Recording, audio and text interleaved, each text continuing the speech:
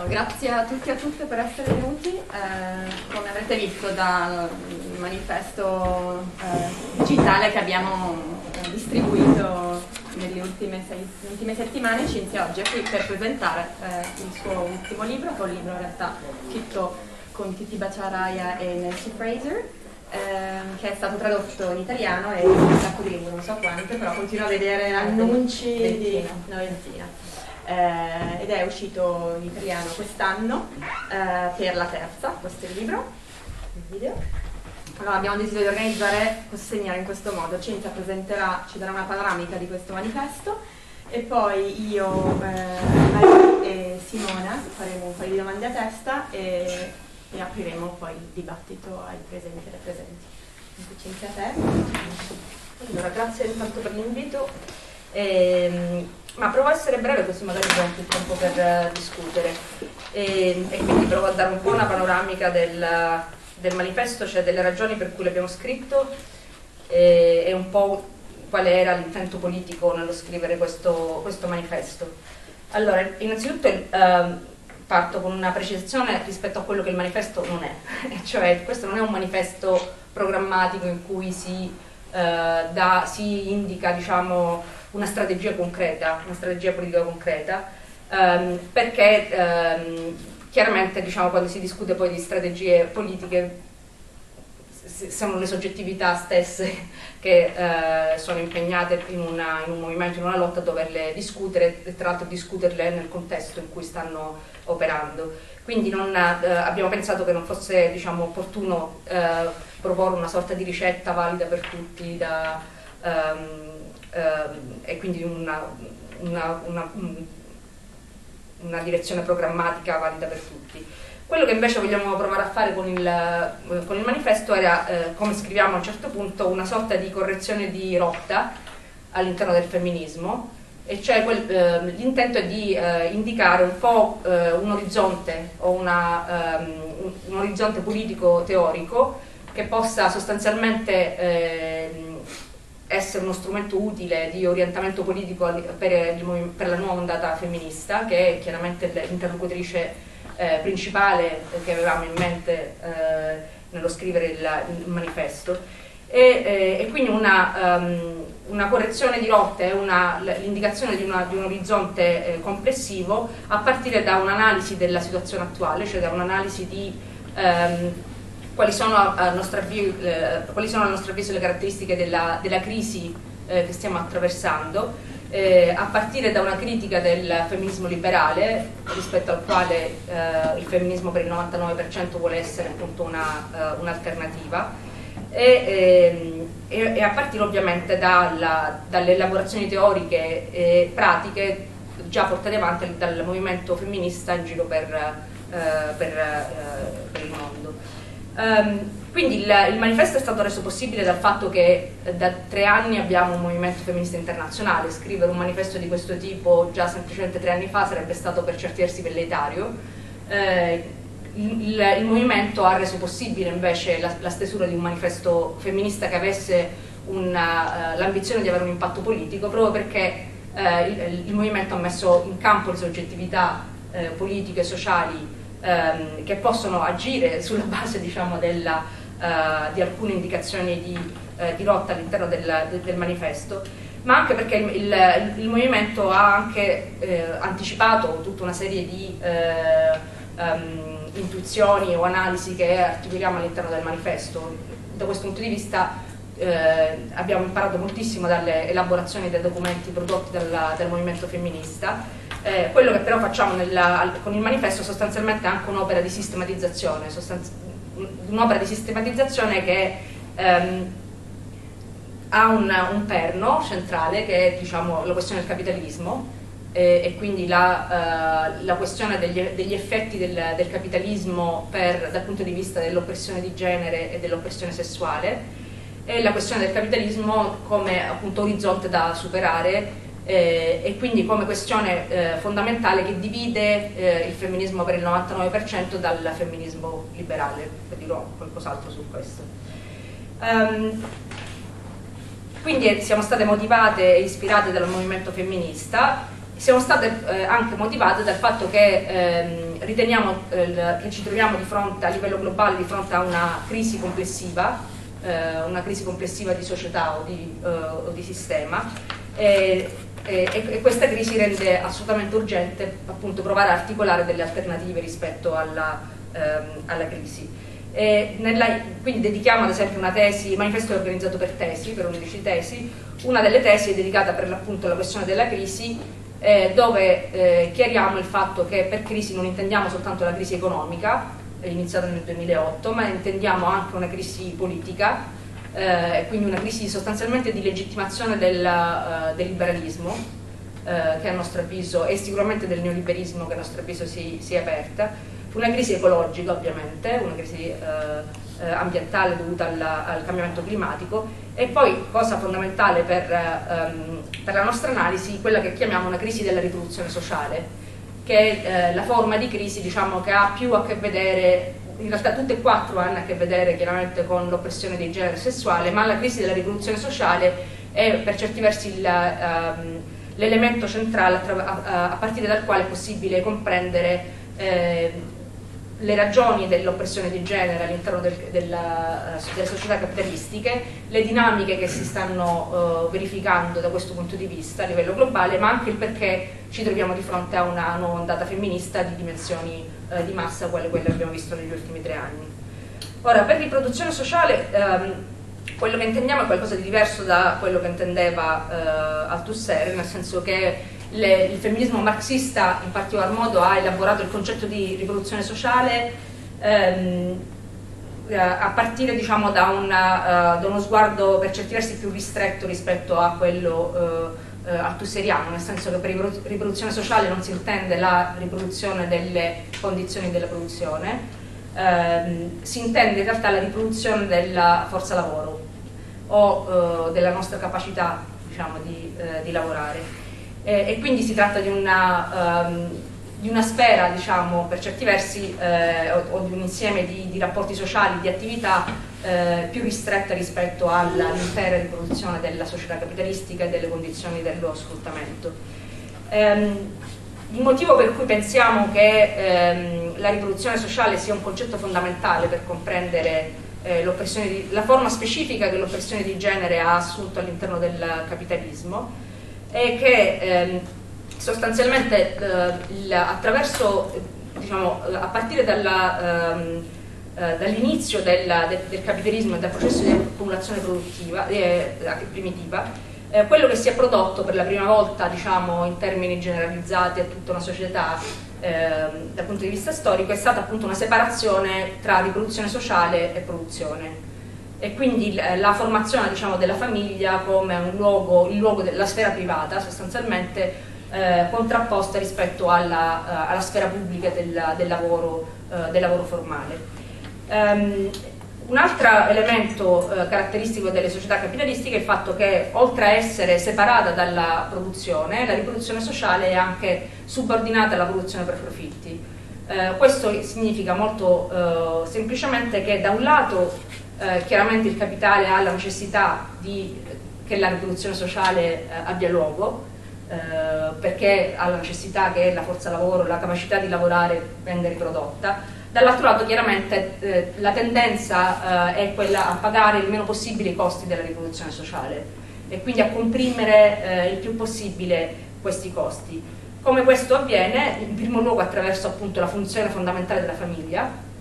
e la funzione in particolar modo delle donne all'interno della, uh, della, famiglia, eh, e cioè uh, l'erogazione di um, tutto l'insieme di lavoro non retribuito, non riconosciuto come lavoro, ehm, non formalizzato, che è un lavoro di riproduzione sociale. Um, quindi da un lato diciamo, la privatizzazione di, di questa attività e la sua eh, considerazione appunto non come eh, attività lavorativa in senso, in senso, proprio e quindi anche la sua svalutazione dal punto di vista culturale eh, simbolico e soprattutto diciamo, la sua eh, gratuità per certi versi dal punto di vista del capitale. Um, dall'altro lato chiaramente uh, una tendenza continua, ovviamente in una lotta uh, costante con la classe lavoratrice, una tendenza continua anche a uh, eliminare il più possibile eh, o tagliare il più possibile, soprattutto in, periodi di crisi, ehm, l'erogazione pubblica di eh, riproduzione sociale, dagli ospedali all'istruzione pubblica, agli asili, eh, asili nidi e così via dicendo, quindi tagli ehm, o la, diciamo, la, tendenza verso il taglio costante al, al welfare a questo tipo di servizi pubblici. È un elemento ehm, ehm, specifico, tra, in particolar modo del, del neoliberismo, eh, una tendenza anche a, laddove eh, può costituire un mercato diciamo, profittevole, la tendenza anche a eh, mercificare eh, al, al, almeno alcuni settori della riproduzione sociale eh, e quindi trasformare sostanzialmente la riproduzione sociale in una ulteriore ehm, eh, occasione di,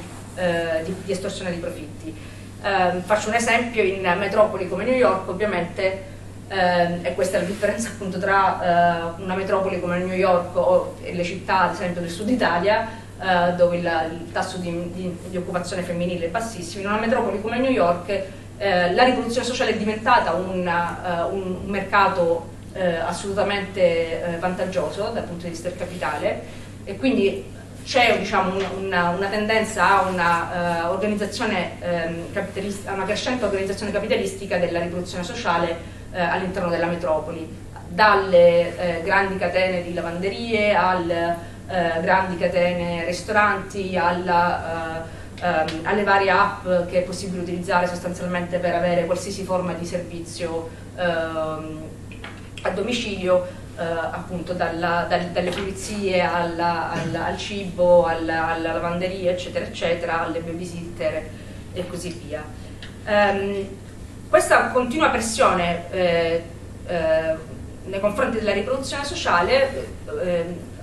genera come conseguenza da un lato appunto il fatto che eh, in particolar modo in situazioni di crisi come quella attuale alle donne viene richiesto di, eh, nuovamente di svolgere eh, lavoro non retribuito di, di cura, di riproduzione e quindi con un rafforzamento di, della divisione di genere del lavoro e dei ruoli di genere.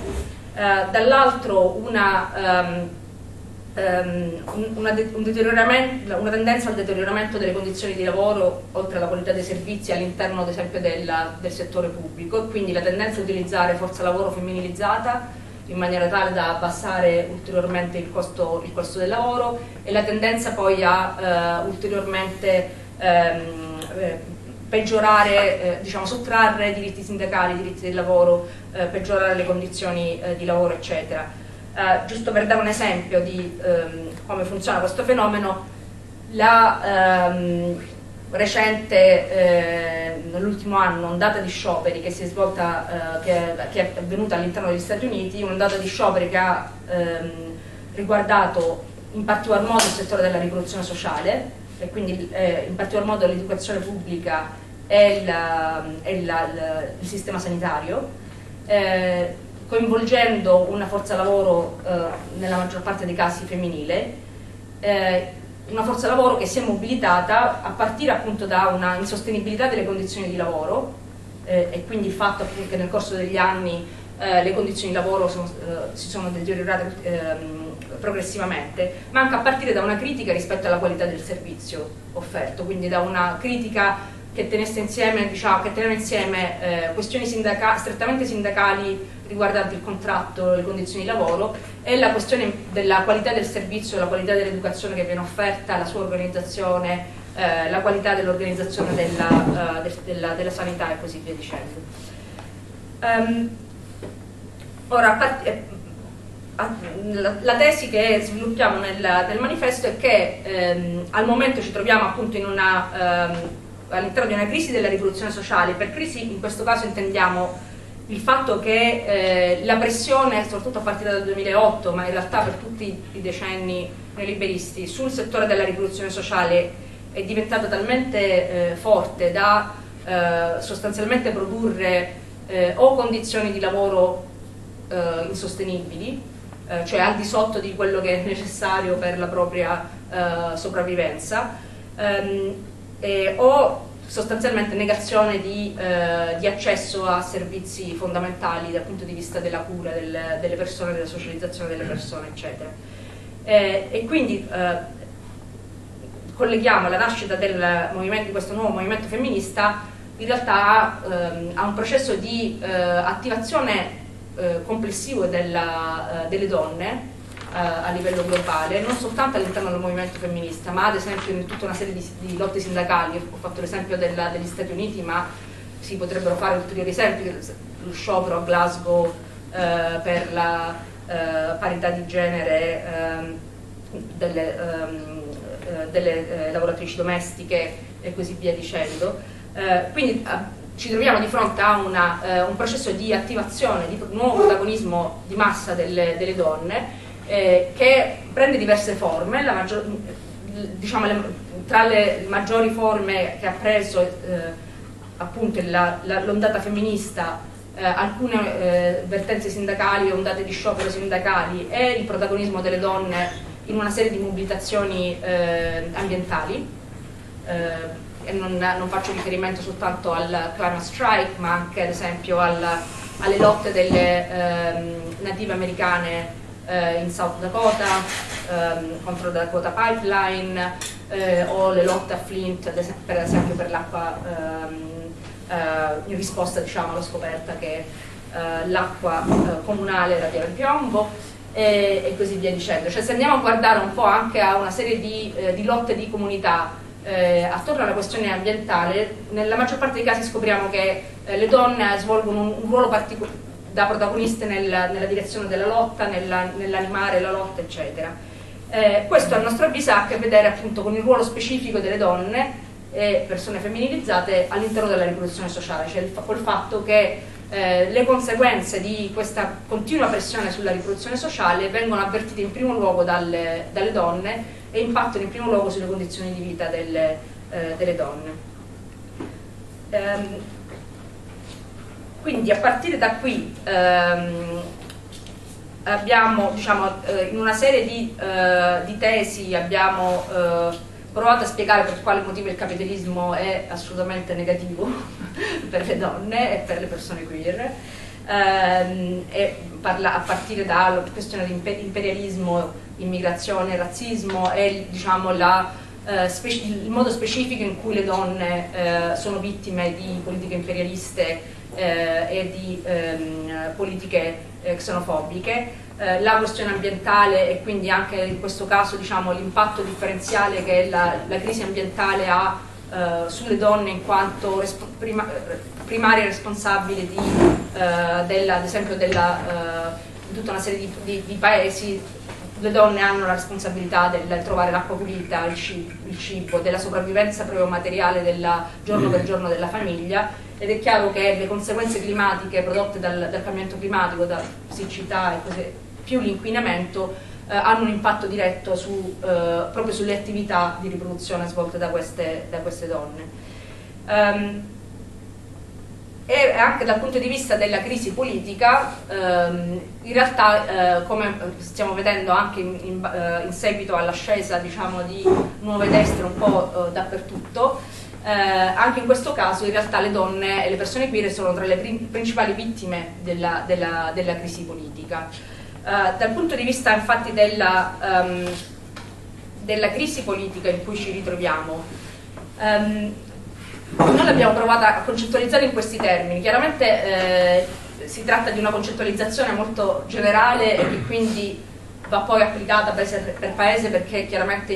in, eh, eh, paesi specifici hanno le loro eh, dinamiche politiche. Sostanzialmente, eh, a nostro avviso, diciamo, la, il contesto politico si sta eh, polarizzando tra eh, due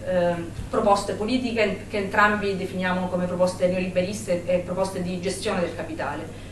Da un lato abbiamo eh, quello che chiamiamo il, eh, quello che Nancy Fraser ha chiamato il eh, neoliberismo progressista o, li, o, liberi, o, liberalismo progressista. E con questo si intendono una serie di eh, forze ehm, democratiche centriste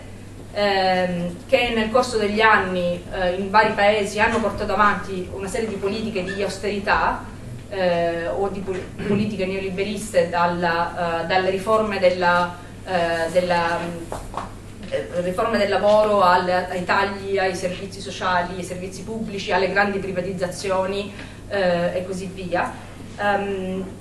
hanno anche portato avanti politiche imperialiste, quindi anche di aggressione militare nei confronti di altri, pa- di altri, paesi, allo stesso tempo però vestendosi un po' di rosa e di verde, in altri termini eh, ricoprendosi diciamo, di, una, di, una, patina progressista eh, sulla base della, di, una, di, una, difesa eh, di, dei diritti formali delle donne e delle persone LGBT, ad esempio il cavallo di battaglia del, del matrimonio tra persone dello stesso sesso, eccetera, o uh, rivestendosi anche della patina del green capitalism, e quindi l'idea sostanzi sostanzialmente la creazione di, da un lato diciamo il, il, uh, una serie di, di, di, politiche volte a uh, limitare gli effetti inquinanti di una serie di compagnie, ma anche la, la, la creazione di una nicchia di mercato sostanzialmente green um, e potenzialmente portatrice di, di profitti. Um, tra i vari esempi eh, di, di liberis- liberismo progressista o, ne- o, o neoliberismo progressista ehm, possiamo pensare al Partito Democratico ovviamente sia di Obama che di Clinton negli Stati Uniti per cui da un lato si portano avanti comunque politiche eh, neoliberiste e di deportazione dei migranti eccetera dall'altro lato però ci si ammanta di una patina progressista nella eh, nel criticare formalmente il razzismo o nel far passare la, uh, fino al premere perché passi la, um, la, sentenza della Corte Costituzionale di riconoscimento del matrimonio uh, tra persone dello stesso sesso, eccetera. Ma in, in, parte, solo in parte a causa dell'influenza della Chiesa Cattolica anche il Partito Democratico in Italia. Um, e in generale possiamo pensare anche a, um, alle varie diciamo, uh, ehm, forze democratico-progressiste in giro per, per l'Europa che si sono caratterizzate appunto per portare avanti in realtà politiche di eh, austerità eh, all'interno dell'Unione Europea ma allo stesso tempo eh, presentandosi, presentandosi, continuamente come forze civ sostanzialmente civilizzatrici ehm, eccetera. Um, in risposta a questo neoliberismo progressista eh, abbiamo un'ascesa delle, eh, in risposta anche alla crisi abbiamo un'ascesa delle nuove destre sostanzialmente un po' dappertutto, da Modi in India, Bolsonaro in Brasile, ehm, l'Italia lasciamo perdere, eh, Salvini in Italia ehm, e, eh, e, varie forze sovraniste di destra in, in Europa, eh, da Orban, eccetera. Quindi abbiamo una, eh, e chiaramente anche Trump negli Stati Uniti. Eh, e ehm, dicevo prima che le donne sono le, prime, le persone queer sono le prime vittime di, eh, eh, della crisi politica perché in questo processo di ascesa delle nuove destre e di polarizzazione quindi tra eh, diciamo un neoliberismo dal volto progressista e un neoliberismo dal volto neotradizionalista ehm, in, questa, in questa polarizzazione le donne, le persone queer, i diritti delle donne e delle persone queer diventano uno dei primi target delle nuove destre. Eh, se si va a guardare tra le prime eh, dichiarazioni politiche e le prime eh, iniziative politiche di praticamente tutte le varie forze di, eh, di, di estrema destra eh, al governo ehm, attorno al pianeta, eh, si possono notare due grandi cavalli di battaglia, uno sono appunto aborto, diritti delle donne, l'ideologia gender, i diritti eh, LGBT, le persone trans, eccetera. Eh, il secondo chiaramente sono immigrazione o persone razzializzate. Questi due diciamo, cavalli di battaglia rappresentano per certi versi l'identità politica eh, primaria della, uh, delle, delle, delle, nuove destre, soprattutto perché, come, come dicevo, um, le nuove destre si presentano come l'alternativa alla, alla, crisi neoliberale e al eh, deterioramento delle condizioni di vita che si è prodotto in questi, eh, in questi decenni, eh, senza però in realtà esserlo, nel senso che se si va a vedere ad esempio Bolsonaro in Brasile, una delle prime iniziative di Bolsonaro in Brasile era appunto una riforma della social security, quindi del, del sistema pensionistico di stampo prettamente liberista. Dunque non, um, si tratta di forze che in realtà non hanno molto da offrire dal punto di vista di un'alternativa reale, dal punto di vista diciamo, dell'economia politica, eh, ma che, che quindi eh, hanno la necessità di eh, ehm, portare avanti diciamo, quella che negli Stati Uniti si potrebbe chiamare la cultural war, quindi una, eh, un attacco frontale rispetto a eh, soggettività o diritti formali che vengono interpretati come eh, uno del, eh, degli ingredienti principali della eh, degenerazione e del degrado sociale in cui ci, eh, in cui ci ritroviamo. Um, per concludere, all'interno di questa polarizzazione, quello che, ehm, che scriviamo all'interno del, del, del, manifesto femminista è che il femminismo liberale, che ha rappresentato il femminismo egemonico eh, nel corso della, degli ultimi decenni, eh, e questo non vuol dire che non esistessero altri femminismi o altre teorie o altre pratiche, però se si va a guardare diciamo, eh, quale, quale, forma di femminismo eh, è riuscito sostanzialmente a diventare per certi versi linguaggio eh, comune di eh, organizzazioni politiche eh, mainstream, ehm, grandi media, ehm, organizzazioni non governative, organizzazioni legate alle, Nazioni Unite, eccetera. La forma di femminismo che eh, è riuscita diciamo, a, a, a, ad acquisire questo tipo di egemonia è il femminismo liberale. Per eh, spiegare molto brevemente che cosa intendiamo per femminismo liberale, ehm, lo si potrebbe sintetizzare in questi termini, cioè il femminismo liberale è una forma di femminismo che si concentra sulla parità di genere, all'interno uh, di, una struttura sociale che non, non, viene messa in discussione nel suo complesso. In altri termini, è uh, una forma di uh, femminismo che non mette in discussione gerarchie sociali legate ad esempio alla, alla, alla classe, ma rivendica una parità di genere all'interno della, della gerarchia sociale qual è. In particolar modo con una um, particolare attenzione chiaramente alla parità di genere all'interno delle classi dirigenti. E dunque la rivendicazione ad esempio dello sfondamento del, glasso, del tetto di cristallo che eh, è divenuta negli scorsi anni sostanzialmente una delle parole d'ordine femministe più, eh, che, che, hanno avuto una maggiore circolazione eh, con una serie di statistiche su quante donne manager, quante donne hai a capo di aziende e così via dicendo eh, presentato come obiettivo che in realtà non riguarda soltanto un uh, settore specifico di donne, ma che riguarda tutte le donne, cioè come se sostanzialmente diventare un, capo, un uh, manager di un'azienda fosse una uh, prospettiva di vita e di lavoro che è disponibile, grande, che effettivamente è aperta per la grande massa delle donne, l'unico problema è l'assenza di parità, di parità di genere. Quindi per dirla con una battuta nel manifesto abbiamo definito il, il, il femminismo liberale come un femminismo di, eh, della pari opportunità di dominio, e cioè sostanzialmente un progetto di classe specifico eh, che mira pari, alla parità di genere all'interno delle classi di dirigente e che mira dunque a, ehm, a far sì che eh, sostanzialmente donne appartenenti all'elite godano delle stesse, delle stesse, opportunità rispetto agli uomini della loro eh, classe. All'interno della, della, crisi, ehm, ora questo tipo di femminismo liberale chiaramente non ha molto da offrire alla grande massa di donne o persone queer, ma in più all'interno della crisi attuale, del, della crisi ehm, eh, politica, economica, ecologica e eh, di riproduzione sociale, eh, il femminismo liberale in realtà eh, rischia di produrre ulteriori danni, nel senso che diventa sostanzialmente un uh, target uh, molto facile di, uh, per, per, per, dal punto di vista della, del, delle destre ehm, neotradizionali e allo stesso tempo continuando sostanzialmente a um,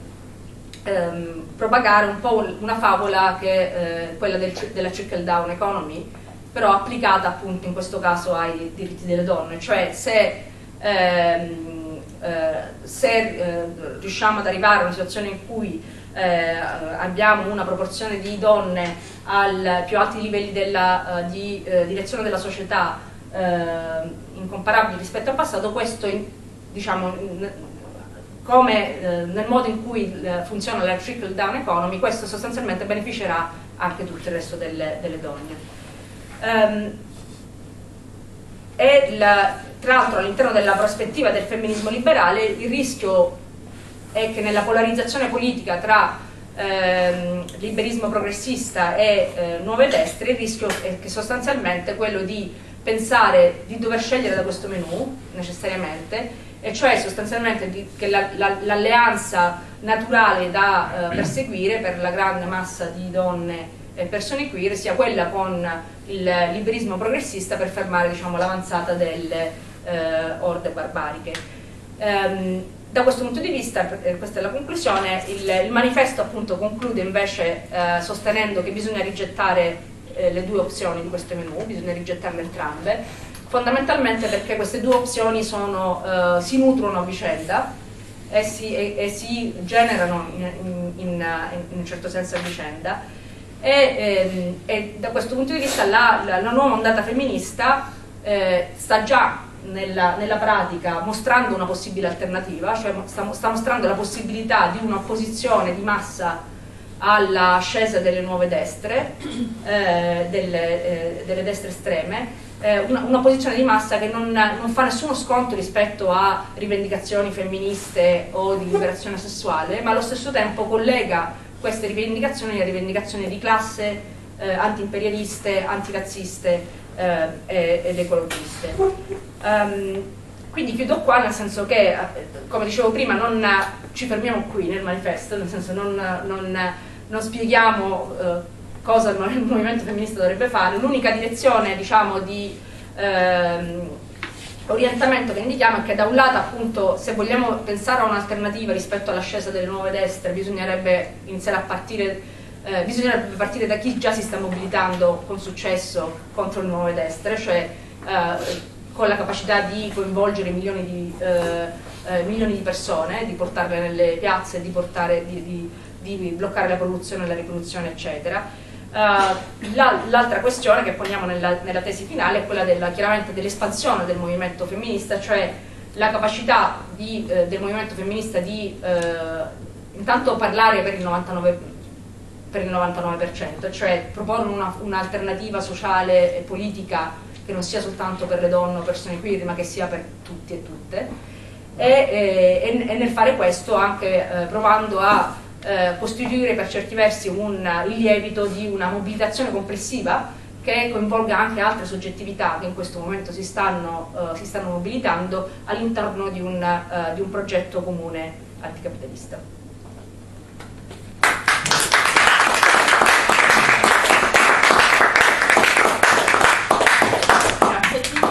come anticipavo prima, uh, io, Maria e Simona, questo ordine, uh, facciamo un paio di osservazioni e domande e, e poi apriamo il dibattito. Allora, io eh, mi scuso perché non, non, ho mandato le domande anticipatamente, dopo è arrambata.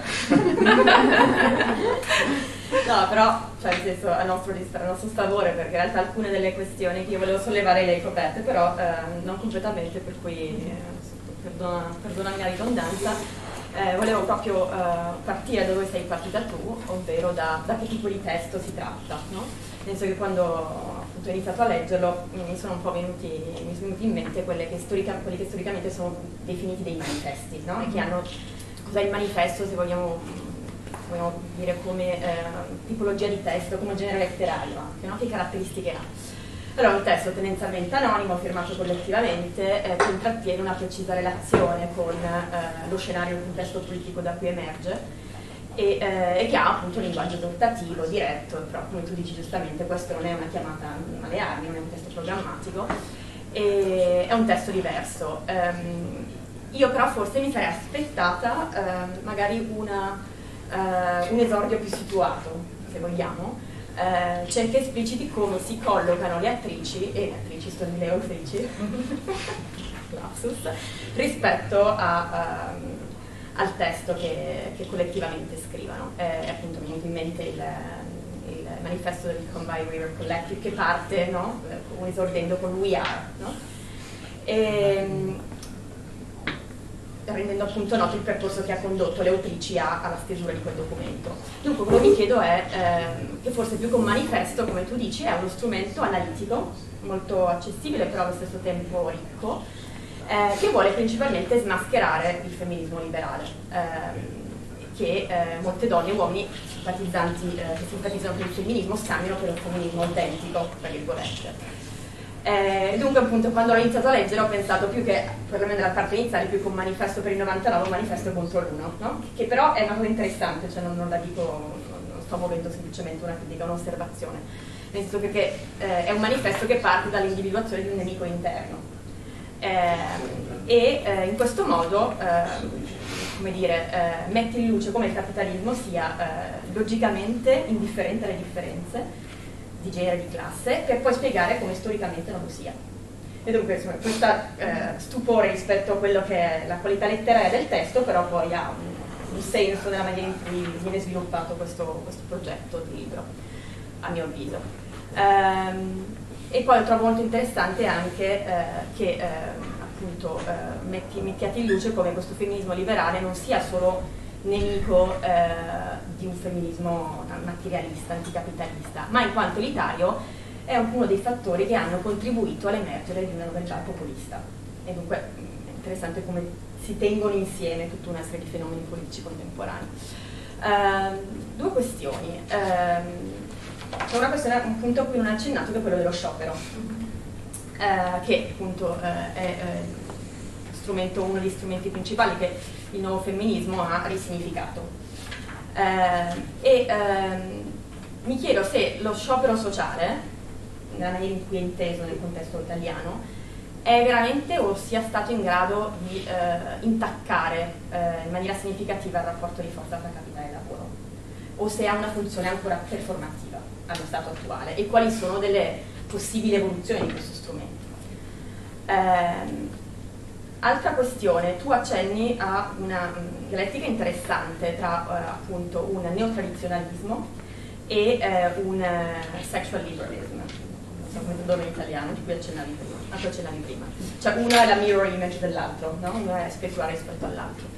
E, ehm, e, appunto accenni a tutta una serie di esempi di come eh, il capitalismo sia riuscito, stia riuscendo a ricomprendere dentro di sé eh, delle istanze del movimento LGBT queer. Eh, io volevo sapere eh, se magari eh, hai sentito o che opinione hai, e questa è una, una domanda che poi eh, pongo a tutti, eh, rispetto al Gender Recognition Act in Gran Bretagna, no? cioè che è un, un, atto che permette a soggetti trans non binary di dichiararsi, eh, una self-declaration di dichiararsi trans senza passare attraverso tutta una procedura che dura due anni, in cui lo, è lo Stato a, a legittimati tale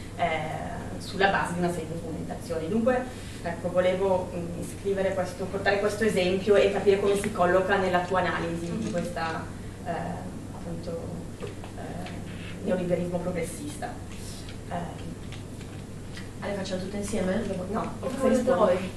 Ok, forse sì, sì, dai, è un po' troppo. Sì. Ok, ma intanto la... Eh, ma diciamo la, la, parte più situata in realtà è nella postazione, nel senso dove diciamo chi siamo eh, perché abbiamo scritto il manifesto, eccetera. E, ehm, in realtà nella versione originale del manifesto la, uh, il primo pezzo di postfazione era l'inizio del manifesto, eh, che però è stato bocciato da Verso. Eh, e questo spiega sì, sì. Diciamo. Nel senso che noi iniziavamo in realtà con una riflessione su cosa vuol dire scrivere un manifesto, eh, quali, eh, situando un po' la cosa, però um,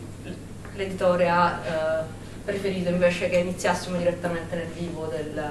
del manifesto, questo per spiegare un po' la, la, la stranezza diciamo. Ehm, la, um, per quanto riguarda la, um, lo sciopero sociale, um, no anzi prima una questione sul manifesto contro il 9%, no sicuramente, allora, sicuramente è un manifesto contro qualcuno, uh, però nel senso è difficile scrivere un manifesto almeno che, che voglia avere una, un, un, impatto politico senza individuare un po' chi è il nemico, nel senso, eh, e da questo punto di vista chiaramente il nemico principale è il capitale, questo è nemico, in realtà il nemico principale del manifesto, e eh, diciamo, la uh, controparte secondaria è il femminismo liberale. Su questo, questo è vero, nel senso che eh, la, la, il ragionamento che, che, abbiamo fatto è, è precisamente che eh, proprio perché secondo noi c'è una egemonia eh, del femminismo liberale, ehm, ovviamente, ripeto, questo non si applica in tutti i paesi nello stesso modo e non è vero per tutti i paesi, però ehm, basta, da, basta, leggersi un po' di documenti delle Nazioni Unite per, per vedere un po' come sia entrato un po' nella uh, alcune diciamo una versione veramente edulcorata del, del, del, femminismo è entrata in realtà nell'immaginario, nel, nel, linguaggio, nel vocabolario politico, nel modo di pensare ad esempio i diritti umani, i diritti umani e così via dicendo. E, e, e, e abbiamo pensato che, eh, che, questa egemonia in realtà rappresenta veramente un problema. Rappresenta un problema in primo luogo per eh, un progetto femminista che voglia avere di mira la liberazione di tutte e tutti e non soltanto di, uh, di un'elite. E rappresenta anche un, uh, un, problema perché, come scriviamo nel manifesto, dà un cattivo nome, uh, una cattiva reputazione al, al, al femminismo. Ora, um, allo stesso tempo però in realtà il manifesto, il manifesto è anche, nel senso, diciamo, non, non, è un manifesto programmatico, però alcune linee rispetto al, a che per, quel, per, che cosa vogliamo lottare, chiaramente nel manifesto ci sono, nel senso c'è alcune indicazioni di che cosa eh, ehm, voglia dire diciamo, eh, superare un po' eh, eh, la, ehm, ad esempio nella tesi sulla sessualità dove parliamo appunto della, necessità di, di superamento della, della subordinazione e della separazione fra produzione e riproduzione sociale come un prerequisito per un'autentica liberazione, eh, liberazione, sessuale, quindi con una proliferazione anche di forme familiari eh, le più variegate, ma senza che, che, le famiglie abbiano ancora questo ruolo e quindi questa continua pressione eh, da rivestire all'interno delle società capitalistiche dal punto di vista della rivoluzione sociale. Um, sulla questione, eh, volevo fare un esempio in realtà sul, per quale motivo il, il um, femminismo liberale veramente dannoso. Eh, non so se avete avuto la, ehm, questo è un, un, po' una, un oggetto di dibattito eh, al momento su Facebook tra americani. Eh, Taylor Swift, in occasione del Pride Month, ha eh, creato una nuova canzone, eh, You Need to Calm Down, con un video. Um, ora il video è veramente per certi versi è proprio una semplificazione di tutto quello che è sbagliato nel femminismo liberale, nel senso che il video è, um, diciamo, questi, uh, lei attorniata da una serie di uh, persone eh, LGBT fa famose, attrici, cantanti, presentatrici e così via dicendo, che vivono in questa comunità colorata ognuno tutto in, colori pastello, carini, eccetera, eccetera, con confetti, eh, non so cioè, il, con questa un po' caricatura per certi versi del... E, eh, e tutta la canzone è contro eh, sostanzialmente il, eh, gli omofobi, ovviamente, You Need to Calm Down. Come vengono rappresentati gli omofobi? Eh, una piccolissima manifestazione di 5-6, so, forse una decina di persone, assolutamente riconoscibili dal punto di vista del vestito, da, di come sono vestiti, dell'atteggiamento eccetera, come eh, white trash, quello che negli Stati Uniti viene chiamato white trash, che è praticamente la classe operaia, classe lavoratrice disoccupata bianca americana. Uh, tipo gli apparecchi. Quindi sostanzialmente cosa propone il video? Da un lato tu hai questa simpatica comunità LGBT in cui tutti si vogliono bene e si scambiano confetti e eh, festoni colorati e, e, tutti quanti ovviamente sono uh, uh, Hollywood, uh, star di Hollywood, cantanti eccetera eccetera, Dall, dall'altro lato c'hai questi poveracci la classe operaria, gli, gli, gli apparachi eccetera, ignoranti, incazzati, brutti, vestiti male con le camicie a quadretti tipiche del...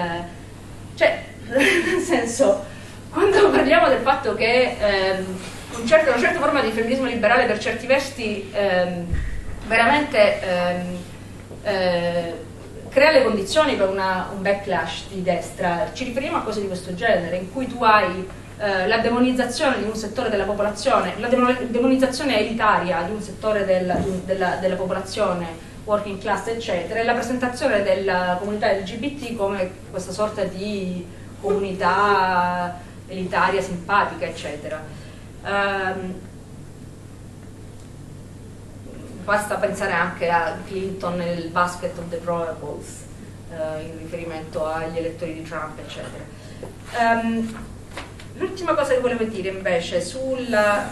no, l'ultima cosa su questo. Ora, questo non vuol dire che eh, chiaramente siamo contrari al riconoscimento di diritti formali, non è questo il punto, nel senso, eh, personalmente penso che la sentenza della Corte Suprema eh, di qualche anno fa negli Stati Uniti sia stata una grandissima vittoria, così come il referendum in Irlanda, eccetera. Ehm, eh, quindi la questione non è tanto eh, eh, svalutare la rilevanza del,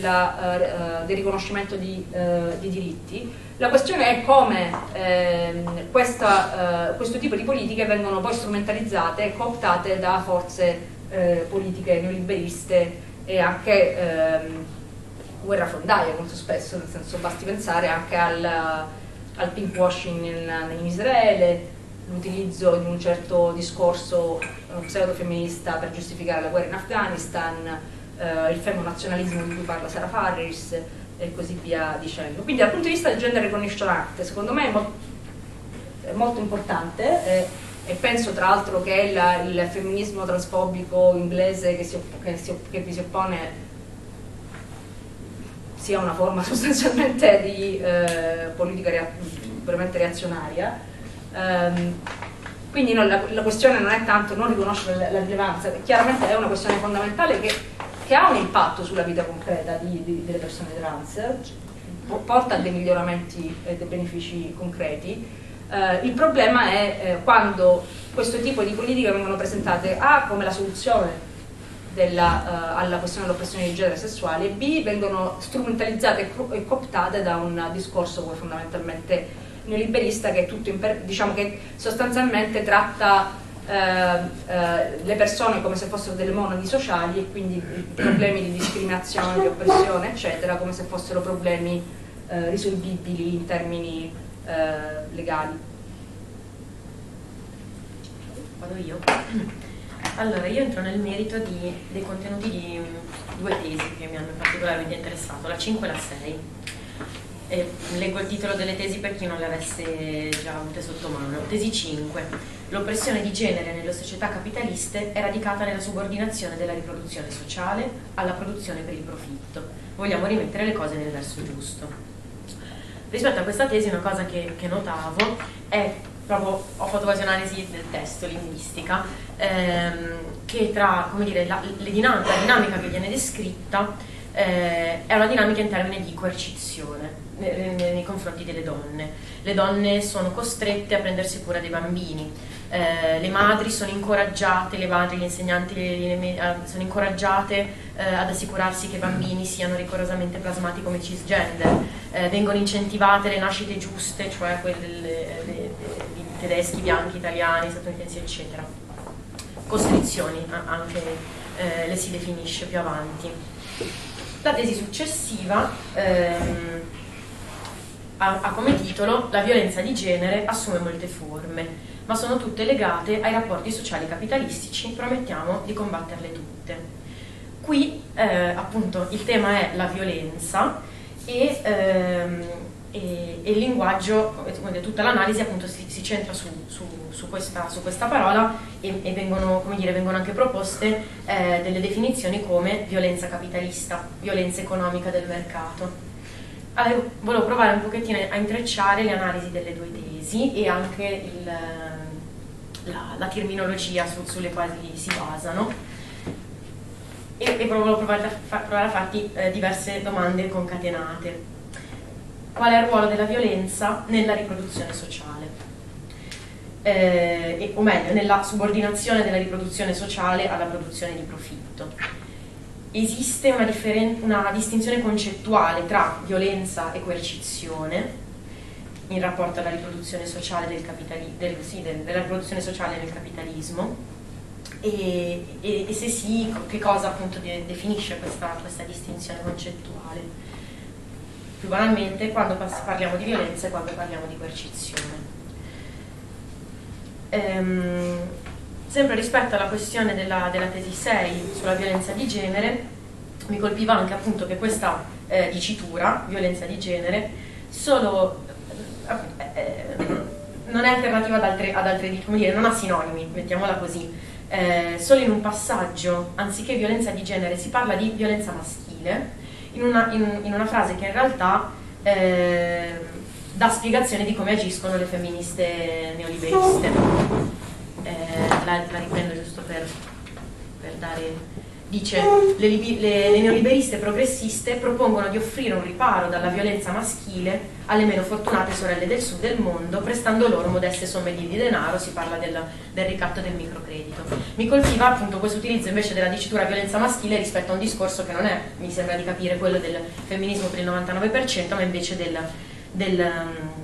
del, femminismo neoliberal e quindi volevo sapere appunto se, se, se avevo compreso bene, se c'è una, una, sorta di eh, specificità, come scelta specifica nel parlare di violenza di genere e non di violenza maschile e se all'interno della definizione di violenza maschile ci possa essere un, dire, un,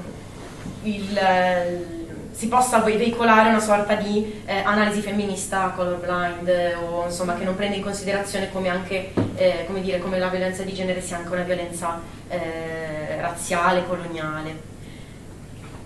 Terza questione, sempre attorno alla, alla violenza, eh,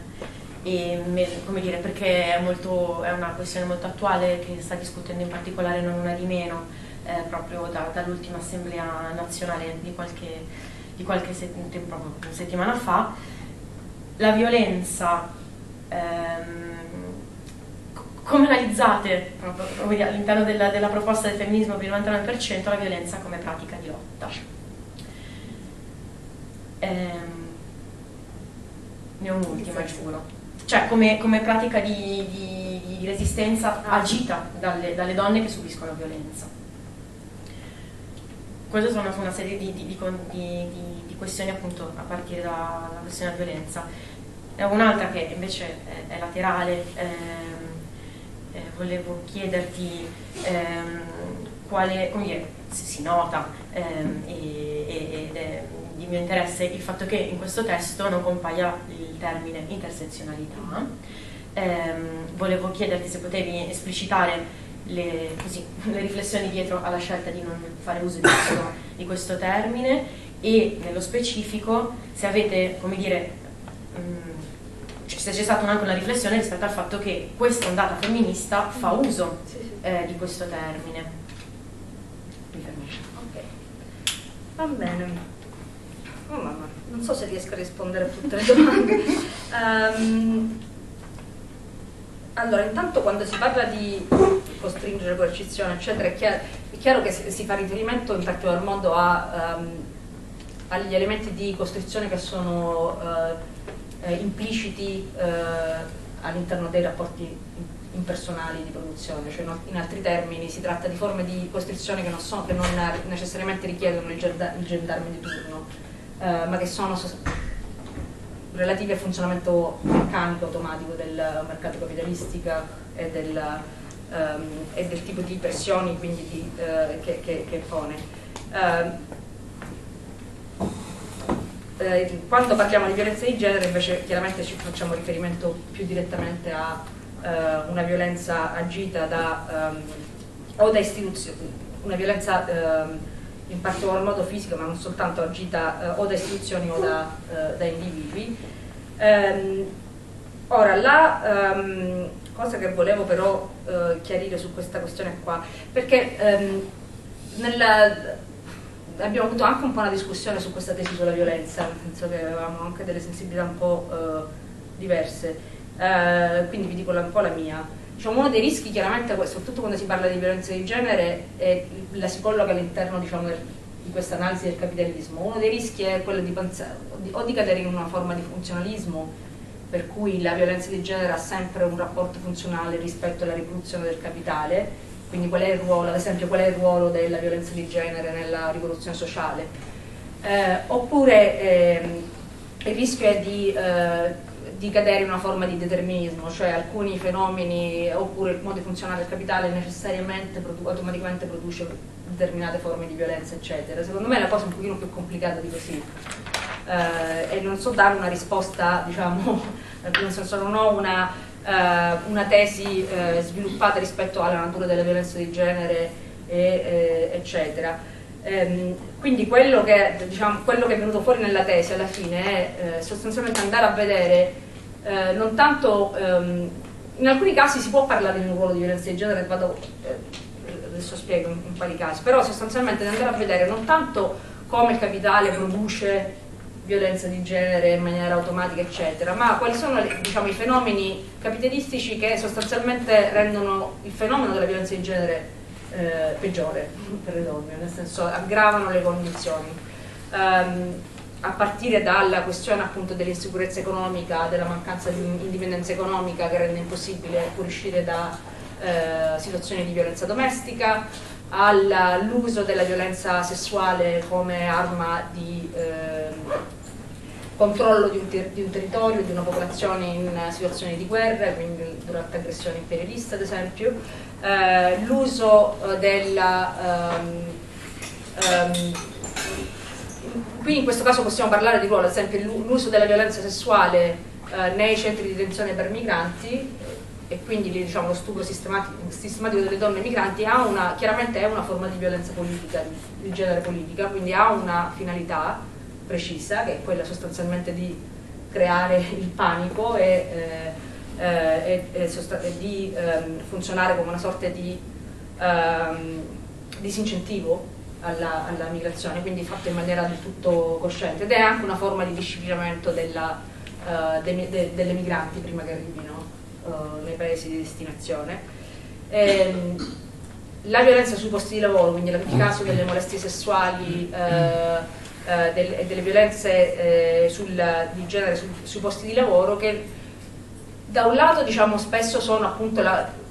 si può vedere come siano la conseguenza di una certa forma di organizzazione del lavoro, cioè nel momento in cui hai eh, luoghi di lavoro che sono organizzati gerarchicamente, eh, senza, eh, con scarsi se non inesistenti diritti sindacali, forme eh, di precarietà del lavoro, eccetera, è chiaro che questo crea diciamo, un ambiente che, eh,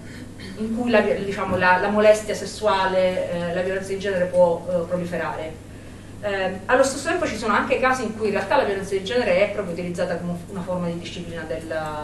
quindi è, ha un carattere proprio direttamente più politico perché è utilizzata come una forma di disciplina della forza lavoro. Eh, sto pensando in particolar modo al caso delle maquilladoras in Messico, eh, in generale diciamo, nelle grandi manifatture a, gran, a, forza lavoro femminile, nelle zone di esportazione dove ehm,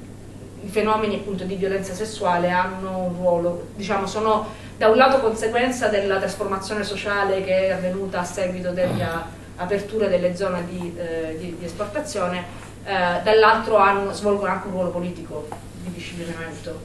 eh, del, del, della forza lavoro. Quindi insomma la cosa è eh, un po' complessa, nel senso che secondo me non è possibile diciamo, individuare una, um, una spiegazione causale univoca rispetto per quale motivo abbiamo il fenomeno della violenza di genere, eccetera. Quello che è possibile fare è individuare eh, alcuni, eh, nello specifico alcuni meccanismi, alcuni eh, elementi che contribuiscono a rendere eh, o che creano proprio l'occasione perché si dia la violenza di genere o che eh, rendono le conseguenze ancora più pesanti e così via dicendo. E, ehm, quindi da questo punto di vista forse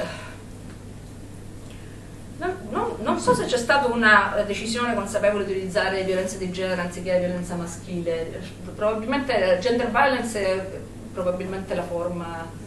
più comune di parlare della, uh, di violenza contro le donne, nella, uh, almeno negli Stati Uniti in inglese. Uh, allo stesso tempo però, se ci, se ci penso, può darsi che effettivamente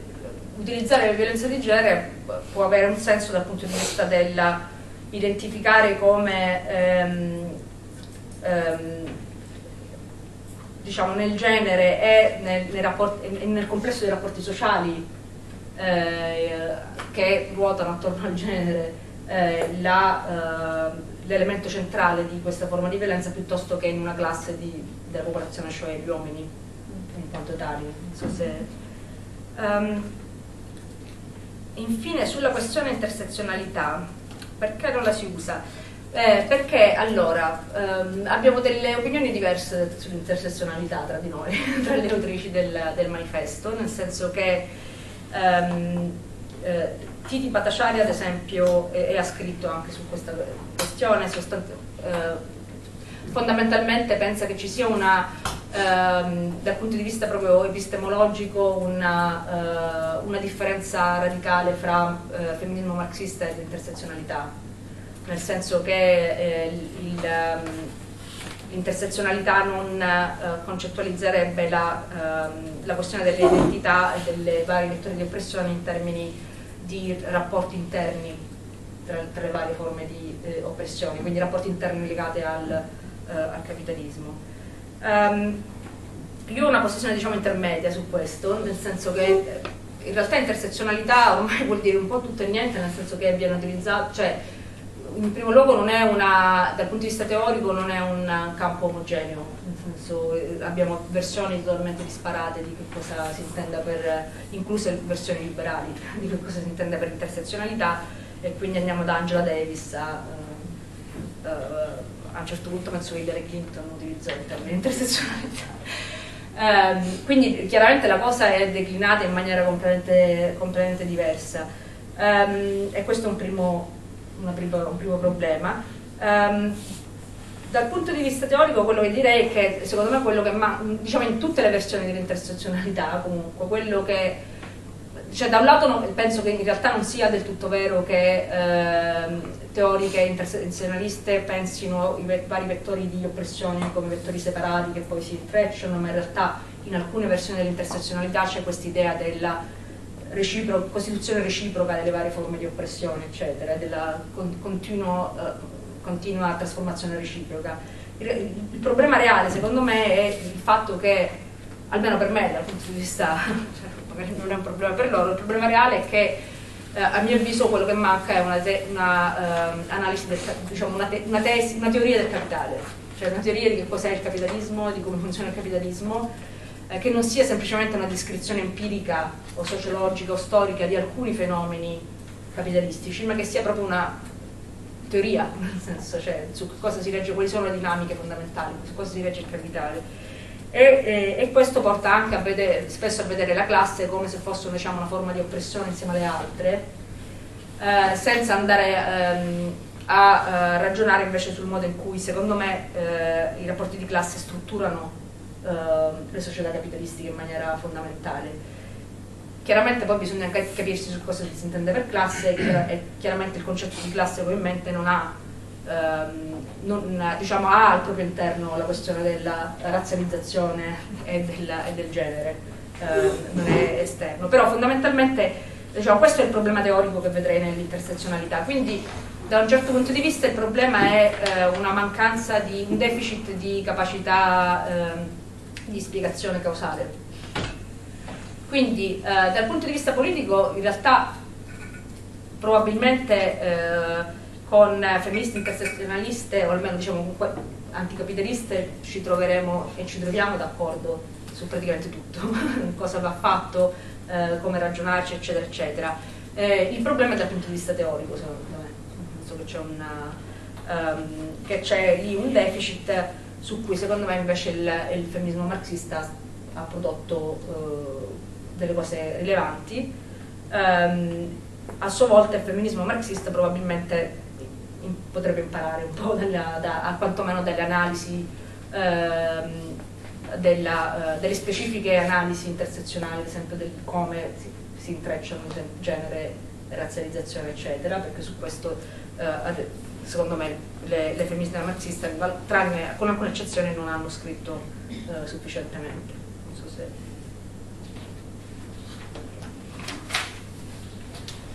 Va bene, io provo a restituire una lettura, diciamo così, situata, nel senso che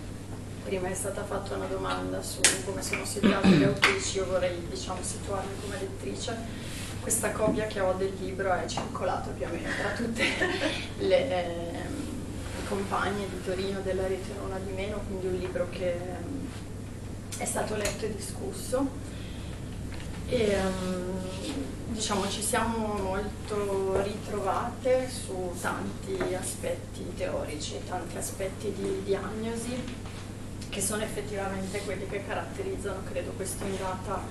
così di movimento, di movimento femminista. Abbiamo anzitutto una chiara presa di posizione verso il femminismo dell'elite, In Italia penso che il momento di presa forte di coscienza in questo senso fu nel 2013 con il movimento Se non ora quando, che eh, determinò una vera diciamo,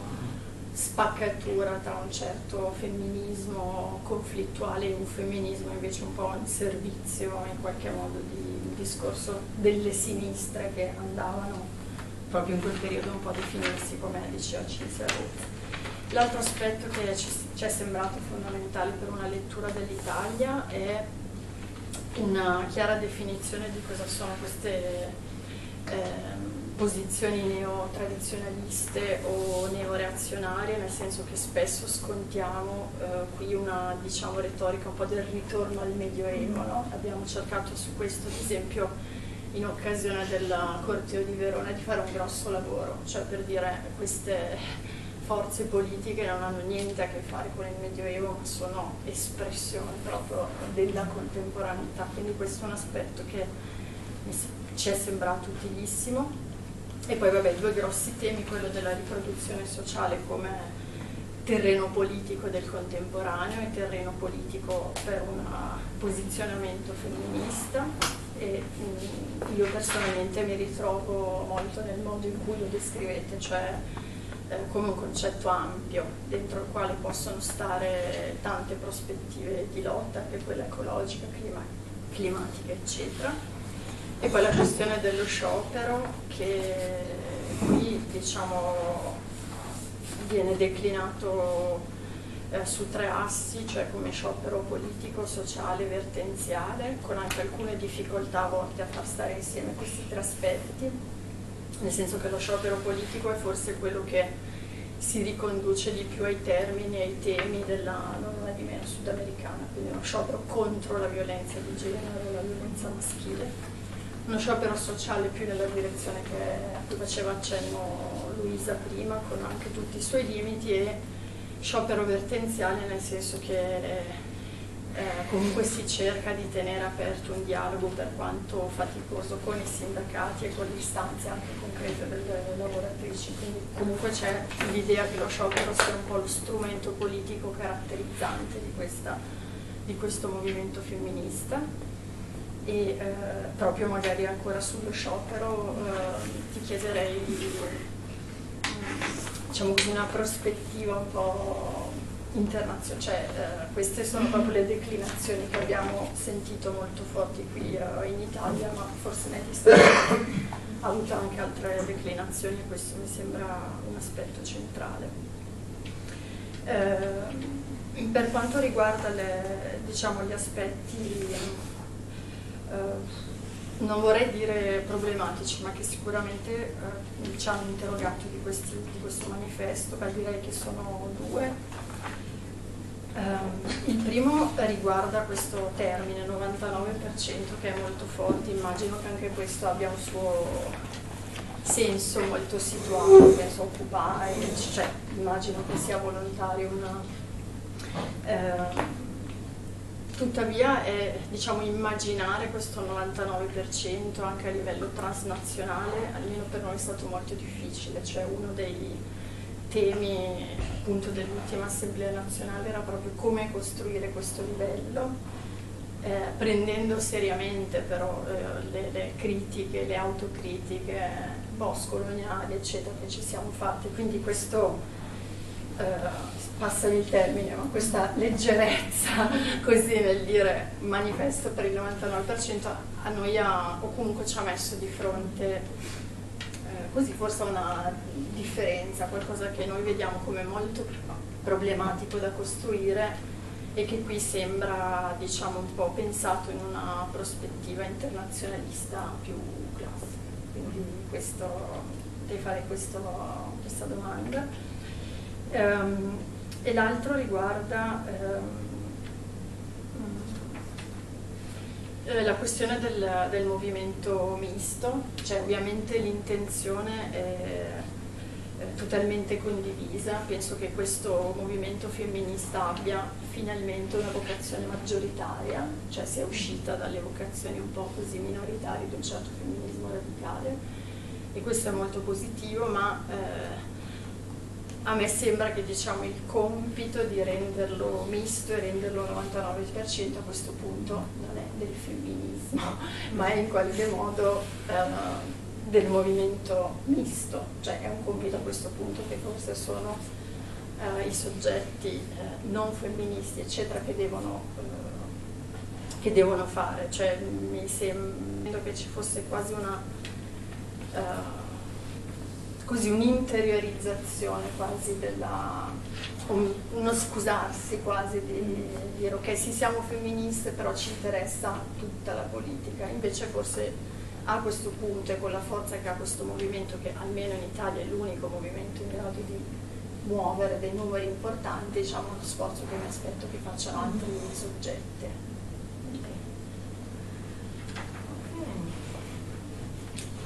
Allora Uh, no, sì, non ho parlato per niente dello sciopero, di solito parlo sempre dello sciopero. Um, allora, intanto per rispondere alla domanda di Luisa prima, no, non, non credo che lo sciopero sociale sia stato in grado di, di intaccare i rapporti di forza tra le classi. Uh, magari fosse così, ma siamo in realtà all'inizio di un percorso di ricostruzione di uh, soggettività e e, e, non parliamo manco di infrastrutture, di organizzazione, di soggettività ehm, eh, che possano eh, diciamo, iniziare un processo di trasformazione di rapporti di forza, ma cioè, no. Eh, quindi secondo me il, lo sciopero diciamo, ha una funzione è un profilo a livello internazionale soprattutto performativo, il che non vuol dire che non venga bloccata la, la, la produzione in alcuni in alcuni casi si tratta, anzi in diversi casi esistono, poi eh, prendono, hanno luogo degli scioperi eh, all'interno della produzione, dei luoghi di lavoro, eccetera. Non, non si tratta di scioperi soltanto eh, a parole, sono eh, scioperi e interruzioni della, del lavoro vero e proprio, ehm, ma chiaramente con un profilo sostanzialmente politico, eh, e cioè ehm, al momento lo sciopero secondo me ha, ehm, a livello internazionale ha svolto eh, è stato diciamo, la, la, la, il processo di politicizzazione e soggettivazione principale di questo movimento. Uh, quindi vedo un po' lo sciopero come intanto un processo, um, è quello che ha permesso di mettere in evidenza il rapporto fra uh, produzione e riproduzione sociale, il lavoro delle donne, ma eh, che ha anche permesso sostanzialmente di reintrodurre all'interno del, del movimento femminista un discorso di classe direttamente, cioè parlando di sciopero di, direttamente eh, questo ha già cambiato la dinamica del stesso movimento femminista, ad esempio mettendo eh, in primo piano la questione fondamentale del rapporto con i sindacati. E per rapporto non intendo dire correre appresso ai sindacati necessariamente, intendo dire anche, anche litigarci, nel senso cioè avere un confronto anche polemico. In Argentina hanno eh, occupato la sede sindacale, nel senso eh, perché rifiutava, la Confederazione si rifiutava di convocare lo sciopero, però eh, diciamo, ti obbliga sostanzialmente a porti in relazione eh, anche conflittuale, di dialogo e di conflitto con le organizzazioni della, del lavoro sostanzialmente. Eh, e quindi questo da, da, da, questo punto di vista secondo me cambia un po' già la dinamica politica del, uh, del movimento. Um, obbliga anche a pensare laddove la questione non è semplicemente eh, rapportarsi a, a, organizzazioni sindacali già esistenti, ma eh, laddove in realtà hai eh, a, che, a, che, vedere con figure lavorative eh, non sindacalizzate eh, o non sindacalizzabili, tutto il settore ad esempio dell'economia informale, dell'economia popolare in Argentina, in America Latina, eccetera, ehm, la questione dello sciopero ha posto anche lì la necessità di riflettere seriamente su co come si organizza uno sciopero, nel senso di questo tipo specifico di forza lavoro femminile, eccetera. Eh, cioè che tipo di eh, strutture ad esempio possono sostituire il sindacato e così via dicendo. Lo stesso vale per gli Stati Uniti dove eh, praticamente il tasso di sindacalizzazione nel settore privato è del 5%, cioè, quindi quando si parla di sciopero, adesso, adesso stiamo discutendo della um, della possibilità di organizzare, provare a organizzare uno sciopero in risposta a quella che sarà la discussione della Corte Suprema sul, sull'aborto e quindi provare diciamo, sul modello polacco a organizzare uno sciopero di massa ehm, in difesa dell'aborto. Eh, discuterlo però lì vuol dire da un lato appunto ragionare sul rapporto con un sindacato che probabilmente è tra peggiori al mondo francamente eh, dall'altro ragionare sul fatto che in realtà tutta una serie, nella stragrande, nella stragrande maggioranza, cioè siamo nel 95% del settore privato, non c'è il sindacato, non, non, ci sono diritti sindacali di, di, nessun tipo. Allora come si fanno organizzare lavoratrici di questo tipo che lavorano in questi cioè che tipo di eh, forme si possono mettere in campo, eccetera. Um, quindi da, um, mia, io penso che lo sciopero femminista sia fondamentalmente uno sciopero politico, lo possiamo chiamare politico-sociale, ma che la sua forza per certi versi a livello internazionale sia stata soprattutto, eh, soprattutto questa. Um, sulla questione del uh, 99% um, e omogeneità, eccetera, ma intanto eh, cioè, non mi fa un po' sorridere che, che vi siete posti il problema dell'internazionalismo, della perché in realtà ad esempio lo slogan femminismo per il 99% uno dei paesi in cui sta andando veramente più di moda nel senso che è stato viene utilizzato ormai dal, dal movimento eccetera il Brasile. Eh, e in particolar modo con eh, l'attivazione anche di tutta una serie di femministe nere brasiliane che hanno ehm, ripreso sostanzialmente sia il manifesto che lo slogan e lo stanno utilizzando come uno strumento di mobilitazione eccetera, anche contro Bolsonaro. Uh, il motivo è perché in realtà cioè, eh, nel testo lo, lo, chiariamo abbastanza, chiaramente noi non abbiamo minimamente in, in mente ehm, l'ipotesi di un'omogeneità sociale o, o geopolitica, eh, eccetera, al contrario insistiamo sul fatto che qualsiasi processo di eh, liberazione che abbia delle ambizioni universalistiche deve eh, necessariamente ripensare l'universalismo come un universalismo pieno di determinazioni, non un universalismo astratto, cioè vale a dire si parte precisamente dal fatto che esistono delle differenze fondamentali eh, nel modo in cui si, possiamo dire per certi versi siamo tutti nella stessa barca, però Uh, non siamo negli stessi punti della barca, eh, ad alcuni arriva più acqua, ad altri stanno più, un po' più all'asciutto, cioè nel senso esistono delle differenze uh, rilevanti, esistono delle, eh, delle, forme appunto di oppressione spe specifiche che non riguardano tutti e tutte e eh, il modo per costruire un movimento con ambizioni appunto di, per utilizzare il termine latinoamericano, trasversalità cioè con ambizioni sostanzialmente universalistiche di attraversamento di tutta la società, eccetera, eh, questo non, si, non, lo si può fare ehm, diciamo, eh, facendo finta che queste differenze non esistano,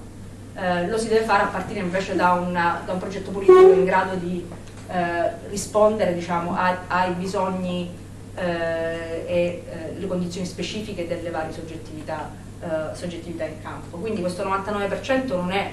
diciamo, un 99% omogeneo, è pieno di determinazioni interne. Eh, il motivo eh, per cui abbiamo utilizzato il termine 99%, chiaramente è un richiamo a Occupy, e, e in realtà lo slogan è stato inventato da Nancy Fraser e, quando sostanzialmente si trattava di trovare un titolo per il primo appello per la convocazione del primo sciopero femminista negli Stati Uniti, eh, che, che poi abbiamo pubblicato su The Guardian e lì bisognava appunto trovare, pensare a un, eh, un, a un titolo che eh, per certi versi eh, sintetizzasse poi quello che abbiamo articolato dopo nel, nel manifesto tre anni dopo. Eh, infatti credo che l'appello fosse Beyond Lean uh, Families for the What we need is a Families for the 99%, cioè l'idea era bisogna posizionarsi ma bisogna anche convocare il, il, lo sciopero rendendo anche chiaro che questo femminismo è alternativo al femminismo di Sandberg, dell'Inin, della donna in carriera, eccetera, eccetera. E chiaramente il richiamo era Occupy, allo stesso tempo c'è eh, lo slogan di Occupy era uno slogan di autoidentificazione, cioè noi siamo il 99% contro l'1% dell'elite finanziaria. Eh, il, 99, il, nostro 99% non è un, un, un 99% di autoidentificazione, eh, ma piuttosto diciamo di ehm, eh, pros prospettiva, nel senso, cioè un, modo di dire è un femminismo universalista, cioè un femminismo per, che vuole liber una liberazione universale, non la liberazione soltanto di poche a, a, a, a, costo di, eh, di altre. Um, quindi, la, quindi, da questo punto di vista l'idea non, eh, non, è quella di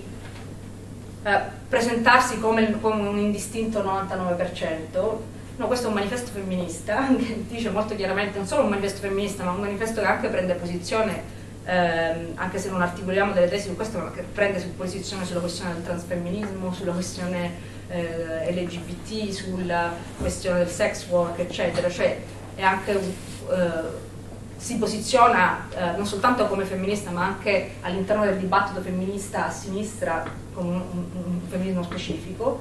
ehm, però a partire appunto da una eh, autoidentificazione come femministe per il 99%, l'idea è, l'ambizione è quella appunto maggioritaria, cioè è possibile articolare una, una proposta politica, un processo di mobilitazione una proposta di società alternativa eh, a partire da una visione femminista che però valga per tutti, nel senso che sia che porti una, uh, a una liberazione per tutti. E chiaramente l'idea dietro questo è che riteniamo che non, è, non sia possibile ehm, non pensiamo che ci sia una, un collegamento automatico tra superamento del capitalismo e liberazione delle donne delle persone queer. Eh, l'idea più che altro è che però se non superiamo il capitalismo, nel senso se rimaniamo in questa, eh, in questa forma di società, sicuramente non possiamo liberarci come donne, o quantomeno la massa delle donne e delle persone queer sicuramente non possono liberarsi. Però se questo è l'orizzonte è chiaro allora che la mia proposta femminista deve avere una capacità egemonica, nel senso deve avere una capacità di eh, appunto attraversare la, tutti i settori della società, mobilitare tutti i settori della società perché eh, non, non, lo superiamo da sole eh, il, il, capitalismo. Um, quindi da questo punto di vista, per l'ultima questione sul movimento misto eccetera, ah, io la, la, la, metterei in questi termini, um, cioè io come militante diciamo, femminista in, in, in, riunioni femministe voglio trovarmi con, de, con, delle femministe e dei femministi. Nel senso, cioè non è che eh, eh, sto facendo un, un lavoro di eh, ehm, assistenza sociale per cui ci imbarchiamo tutti, pure i peggiori sessisti, e poi proviamo a convincerli con tentativi estenuanti di persuasione razionale, anche no, nel senso, cioè, quindi diciamo, mia, per me la barra è chiaramente se io convoco una di, del movimento femminista, eccetera, chi partecipa si presume debba essere un femminista, poi che genere abbia per me è meno rilevante, personalmente. Ehm, anche perché, nel senso, ho, chiaramente non tutte le donne sono femministe, ovviamente, non tutte le donne che si chiamano femministe lo sono, o, o veramente amano le donne, e, e, e, ci sono anche uomini, per quanto mi riguarda, uomini femministi. Um, e secondo me bisogna anche un po' superare l'idea che il femminismo è sostanzialmente eh, un, um, un, approccio settoriale, stiamo parlando sostanzialmente della, più della maggioranza della popolazione mondiale, quindi è un po' difficile eh, definirlo un, un, settore specifico esattamente. Eh, e, e, quindi un po' super, secondo me c'è anche la necessità di superare per certi versi la, eh, la logica della, um, per cui di femminismo parlano soltanto le donne o soltanto le persone queer eccetera. Ehm, la questione del fatto che eh, più di metà della popolazione mondiale oltre a ehm, su, diciamo, subire gli effetti del capitalismo in generale abbia anche una forma di oppressione, subisca anche un'oppressione specifica in quanto donne, in quanto persone queer, eccetera, dovrebbe essere un elemento di interesse primario di teorici eh, di sinistra, marxisti, eh, di eh, teoria politica radicale, cioè non dovrebbe essere l'appannaggio soltanto del, di teori, di, delle teoriche femministe, dovrebbe essere per me diciamo, i libri di teoria marxista in cui non, um, non c'è nessuna menzione eh, del eh, rapporto tra oppressione di genere e capitale, eccetera, in, nessuna forma, cioè, secondo me anche basta, nel senso, cioè, bisogna anche eh, andare un po' avanti, stiamo parlando di un elemento fondamentale della società capitalistica, non di un elemento secondario, se vogliamo analizzare realmente come funziona il capitale magari teniamo il genere e la razza in, in, in, e l'immigrazione in considerazione, o altrimenti stiamo parlando un po' di... Eh, di aria fritta. Quindi diciamo, per chiarire, nel senso, eh, condivido la tua preoccupazione, nel senso l'idea non è quella di andare a rincorrere chi, eh, eh, chi non è convinto o, o di, eh, ma di mantenere appunto un, eh, de, di spazi organizzativi e politici femministi, però con una capacità anche, che, che, può passare anche attraverso il conflitto, ad esempio il conflitto con le burocrazie sindacali, cioè non è che devi andarci eh, a prendere l'aperitivo in, eh, in maniera conviviale necessariamente, cioè nel senso ci puoi anche confliggere, eh, però con una capacità, nel senso con, del, con dietro alle spalle una eh, proposta politica che, che, è una proposta politica sostanzialmente di liberazione per tutti e tutte, a cui diciamo, eh, a partire dalla questione, eh, della questione femminista, e, e, per, e, rispetto alla quale deve diventare sempre più difficile per organizzazioni sindacali o organizzazioni miste della sinistra eccetera eccetera continuare a, a fare i pesci in barile.